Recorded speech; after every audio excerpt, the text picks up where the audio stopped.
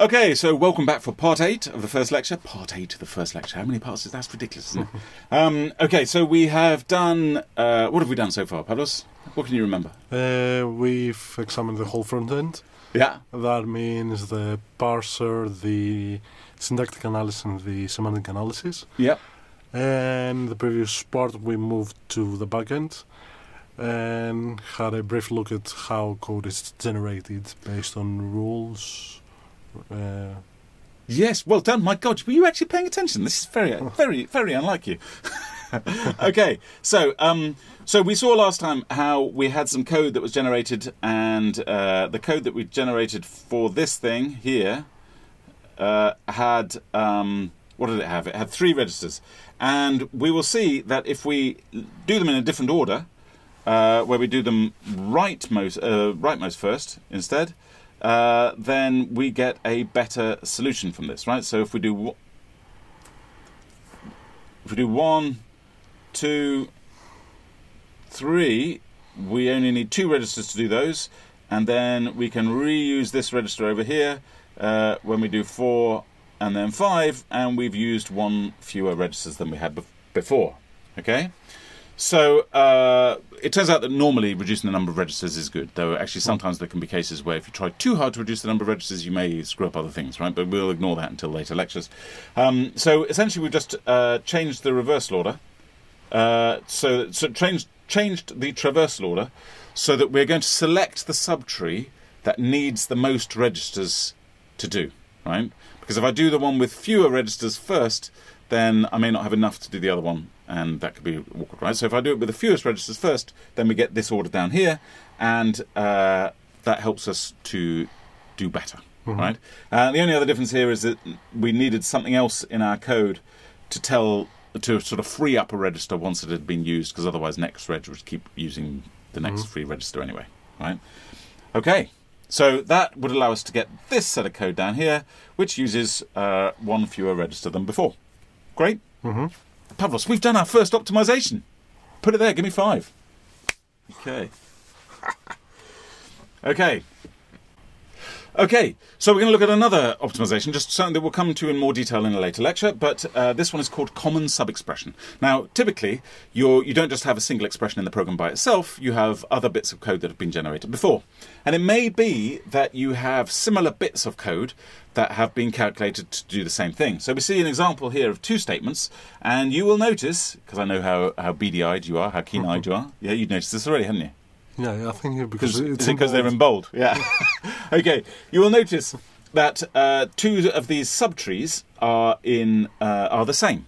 Okay. Now, actually, this slightly depends on exactly how these were ordered, because obviously, if this had been parenthesized like that, then that would not be the case. But if we assume that they're parenthesized in the way that we'd like them to be parenthesized, then you'll see that we've got these two common sub-expressions.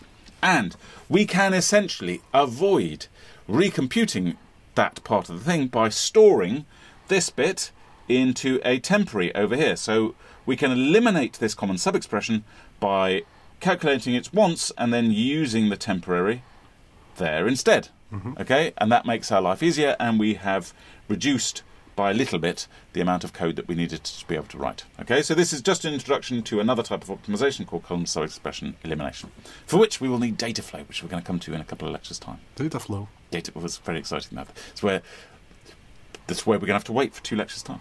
I think two, maybe three. I can't remember. okay. All right. So we've uh, so that's just uh, just our first couple of uh, couple of, of optimizations, and uh, we're now just going to sort of wrap up the first lecture. And what are we going to say about it? Well, in the first part of this course, in the next several lectures, we're going to assume that we've got a single core processor uh, with uh, instruction level parallelism, registers, and memory. If you don't know what instruction level parallelism, what does it mean? Actually, you do. Tell me what it means. Are you sure? Yeah, go on. Okay, instruction level parallelism is, means that uh, instructions are not necessarily executed in the same order as they uh, appear in the program, and the processor. Not necessarily, or not necessary to. No, sorry, this is out of order. So instruction level parallelism is that uh, the processor is able to execute in parallel instructions that uh, don't uh, depend on each other's results. Ah, yes. Specifically, it doesn't mean that the processor, processor is able to do it. It means that the program has instructions which are independent of each other, so that they can be executed in parallel. But, but pretty good. Okay. All right. So we're also going to suggest in this uh, in this first part of the course in the next few lectures that the generated assembly code uh, shouldn't do any dumb computation for us, right? So we're gonna we're gonna just assume that it does a reasonably good job, uh, and we're going to fully util- we want to fully utilize all the functional units. What's a functional unit? Um, we know at this stage. Huh? Uh, Well, I think I think these guys should have done some um, computer architecture before. okay. In this case, functional units are ALUs and floating point units and load store units and Branch units. branch units. like that. Ah. There could be other things as well. There could there could be could be more complicated things. Basically, every subsystem of the processor that's responsible for handling some kind of uh, function or f- What's an ALU? an arithmetic logical unit. What does that do? That means it handles all arithmetic and logical operations like uh, addition, subtraction, multiplication, and uh, and uh, or XOR. Shifting and all Yeah. that kind of stuff, right? Every, Everything that involves uh, basically uh, integer numbers or kind of things. Yeah, yeah. Um, and minimize the impact of latency. Hmm. Uh, latency is just how long we have to sit around waiting for things to be done, right? hmm Basically, I guess. Um, and we are also going to assume that register access is fast. Uh, and that we have a small number of registers rather than an infinite number of registers. Mhm. Most machines have a smallish number. Well, some some RISC machines have dozens Um, and dozens of them, but um, Depends. I mean, in practice, even x86 have a huge number of registers. Wait, wait, wait, wait, wait! Don't you get? Don't go into windowing and all that kind of stuff here, right? okay, small number of registers. It has a small number of architectural registers. Yes, so we need to make use of them carefully. Mhm. Okay, um, and there are basically uh, two flavors of machine that we're going to look at: uh, superscalar out of order. Hmm. What's that? I don't know, but it sounds super.